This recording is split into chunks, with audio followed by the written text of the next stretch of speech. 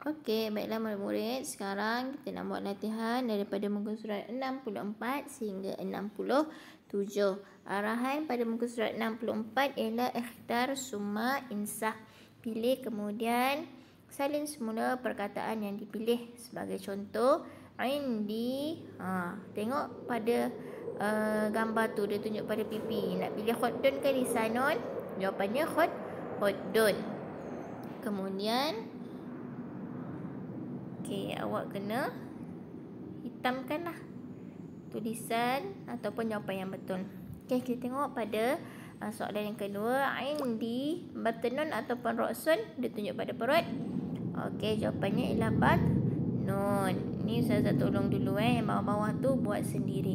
Batnun, okey. Salin semula perkataan batnun ataupun hitamkan. Kemudian salin pada ruangan kosong.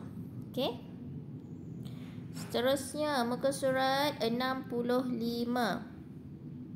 Hadith summa imla. Okey, tentukan kemudian isi tempat kosong. Okey, nombor satu tu indi rijlun, saya ada kaki. Ha, kaki yang apa?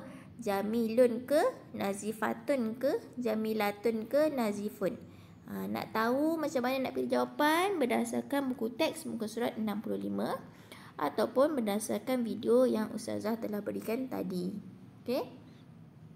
Okey, sebagai contoh soalan nombor satu ni indi rijlun saya ada kaki yang ber bersih. Kalau bersih rijlun, rijlun ini tergolong di dalam muan muannas. Jadi kita pilih nazifatun ke nazifun. Jawapannya ialah nazi nazifatun. Perlu ada ambil yang tamar buta ya, ingat. Kemudian nombor dua ini indi famun. Saya ada mulut. Mulut. Kalau mulut bersih ke cantik? Mulut yang ber bersih. Kalau saya ada mulut yang bersih nak pilih apa? Nazifatun ke nazifun? Okey, kita tengok dulu mulut ni muzakkar ke muannas? Dia adalah muzakkar muzakkar. Kalau muzakkar kita pilihlah yang tak ada tamar buta. Jadi ini jawapannya nazi food. Boleh faham ni? Fahim tu? Yang bawah-bawah tu boleh buat sendiri ya. Baiklah, seterusnya muka surat 66. Insah summa uktub. Okey, salin semula.